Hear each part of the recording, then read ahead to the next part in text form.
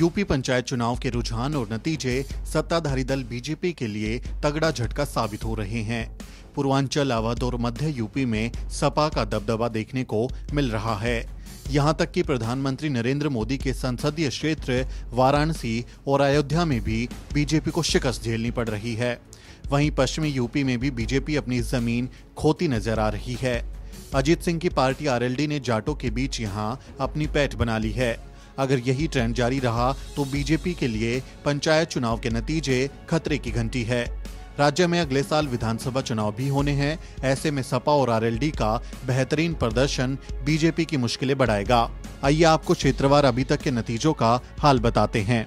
पूर्वांचल की ज़्यादातर सीटों पर समाजवादी पार्टी का दबदबा है। यहाँ बस्ती की तिरालीस जिला पंचायत सीटों के नतीजे आ गए हैं। इसमें समाजवादी पार्टी 20 पर 9 पर बीजेपी, बीएसपी और कांग्रेस ने एक एक सीट पर जीत हासिल की। हर ज़िले की तरह यहाँ निर्दलीय भी अहम भूमिका में है और 10 सीटों पर जीत दर्ज करा चुके हैं। यूपी के मुख्यमंत्री योगी आदित्यनाथ के गढ़ गोरखपुर की अड़सठ में से पाँच सीटों के नतीजे आए हैं। इसमें तीन पर सपा और दो पर अन्य जीते हैं। संत कबीर नगर की 30 सीटों में से 11 पर सपा निर्दलीय ने 10, बीएसपी ने चार सीटों पर जबकि बीजेपी मात्र चार सीट ही जीत दर्ज कर पाई है। वाराणसी की 40 सीटों में से सपा ने 14 सीटें जीत ली हैं बीजेपी महज आठ सीटों पर और बीएसपी ने पाँच सीटें यहाँ पर वाराणसी में जीती हैं। अपना दल को तीन सीटें मिली हैं, जबकि आम आदमी पार्टी और सुहेल देव भारतीय समाज पार्टी को एक एक सीट मिली है, जबकि निर्दलीय तीन उम्मीदवार विजयी रहे। आजमगढ़ की चौरासी सीटों में से 45 पर समाजवादी पार्टी ने कब्जा कर लिया है, जबकि बीजेपी महज 15 सीटें ही जीत पाई है। वहीं बहुजन समाज पार्टी 15 सीट ही जीत पाई है, अन्य आठ उम्मीदवार विजयी रहे हैं, जबकि कांग्रेस को सिर्फ़ एक सीट मिली है। अवध लखनऊ और अयोध्या में भी सपा की बड़ी जीत हुई है। लखनऊ में तो बीजेपी के बड़े बड़े दिग्गज नेता हार गए। लखनऊ जिला पंचायत की 25 सीटों में से बीजेपी को तीन सीट मिली हैं, जबकि समाजवादी पार्टी को 10 सीटें हासिल हुई हैं। बसपा को यहाँ चार सीटें मिली हैं, अन्य को आठ सीटों पर जीत मिली है। अवध की श्रावस्ती की 20 जिला पंचायत सीटों में से आठ पर सपा जीती है, चार पर बीजेपी और आम आदमी पार्टी को यहाँ तीन सीटें मिली हैं।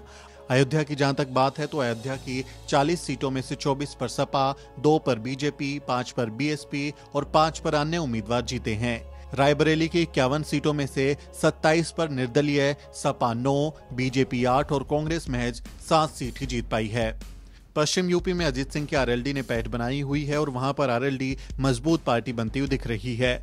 बागपत में 20 में से 15 सीटों के नतीजे आ गए हैं, जिसमें 8 पर आरएलडी और 7 पर बीजेपी जीती है। वहीं मुजफ्फरनगर की तिरालीस सीटों में से 18 सीटों के नतीजे आए हैं। 10 पर सपा आरएलडी 5 पर बीजेपी और 3 पर बीएसपी के उम्मीदवार विजयी रहे हैं।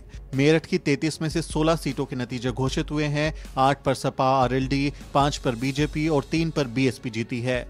वहीं सहारनपुर की उनचास में से 16 सीटों में से 7 पर बीजेपी और 9 पर सपा जीती है।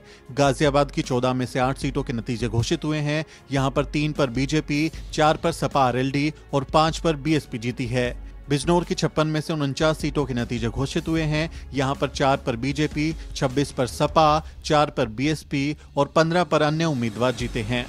वहीं मुरादाबाद की उनतालीस में से 20 सीटों के नतीजे घोषित हो चुके हैं, जिसमें 15 पर समाजवादी पार्टी ने जीत दर्ज की है। बीजेपी को सिर्फ़ दो सीटें मिली हैं और अन्य के खाते में गई हैं तीन सीटें। मध्य यूपी इटावा मैनपुरी और कन्नौज में समाजवादी पार्टी का जलवा कायम है। यहाँ उन्नाव की 27 जिला पंचायत सीटों पर 10 पर समाजवादी पार्टी ने कब्जा कर लिया है जबकि बीजेपी को 9 सीटें मिली हैं और बीएसपी चार सीटों पर आगे है। कानपुर देहात की 32 सीटों में से 15 पर एसपी, 2 पर बीजेपी, 5 पर बीएसपी और 10 पर अन्य आगे हैं।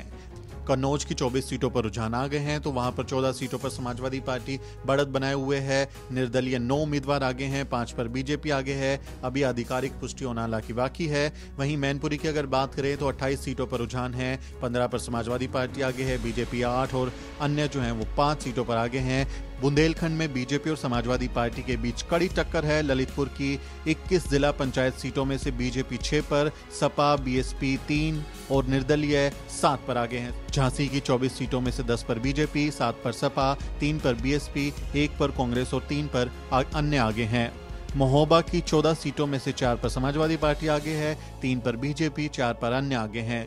वहीं चित्रकूट की 17 सीटों में से चार पर समाजवादी पार्टी, चार पर ही बीएसपी और चार पर ही बीजेपी बढ़त बनाए हुए हैं, जबकि अन्य जो हैं वो छह सीटों पर आगे हैं। तो ये अभी तक के जो रुझान है, वहाँ पर आ रहे हैं, लेकिन ये बताता है कि पूर्वांचल अवध में समाजवादी पार्टी और वेस्ट यूपी में आरएलडी ने बीजेपी की टेंशन को बढ़ा दिया है। Bureau report, the news week.